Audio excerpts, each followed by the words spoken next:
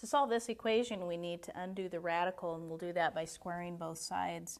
So we'll have the square root of a minus 8 squared equal to the square root of a minus 2 squared. Now, squaring a square root just gives us what's underneath the radical. If we square this side, we're going to square the first term, which will be a. We'll take 2 times the first term times the second term. Since it's subtraction, it'll be minus 4 times the square root of a. And then plus the second term squared.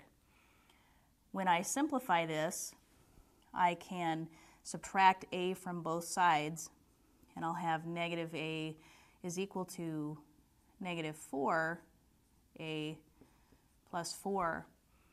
I see then that we still have a radical with a variable, so I'm going to subtract 4 from both sides and I'll get negative 12 is equal to negative 4 times a.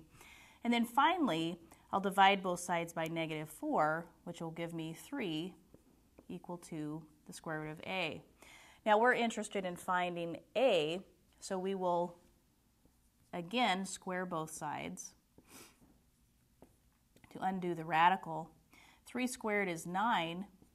The square of the square root of a is a. So we have that a is equal to 9. We found that a was equal to 9, but we need to determine if that is an extraneous solution or not. So we'll substitute 9 for a, and we'll see if the left-hand side is equal to the right-hand side of the equation. On the left-hand side, we'll have the square root of 1. On the right-hand side, we'll have 3 minus 2. The square root of 1 is 1, and 3 minus 2 is 1. So because this is a true statement, we know that a is equal to 9.